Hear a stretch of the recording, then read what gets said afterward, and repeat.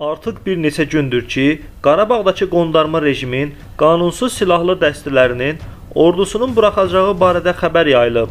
Bunun ardınca terrorçu rejimin Xarici İşlər Nazirliyi və digər qurumlarının da ləğv ediləcəyi haqqda iddialar erməni mediasında və Telegram kanallarında tirajlanıb.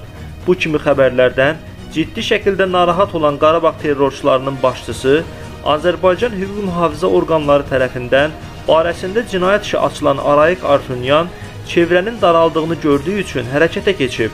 Erməni mediasının verdiyi xəbərə görə Artunyan ordu və nazirliklə bağlı xəbərləri təksib edib və bunları dezinformasiya adlandırıb. Həmçinin belə xəbərlərin ermənilər tərəfindən yayılmasından təəssüfləndiyini bildirib. Artunyan bundan əlavə 35 kilometrlik Qırmızı Bazar Şuşa yolunun Azərbaycanın nəzarətinə veriləcəyi, həmçinin Xankəndi şəhərində Azərbaycan bayrağının dalğalanması üçün icazə verildiyi barədə ermənilər arasında yayılan xəbərləri də təkzib edir.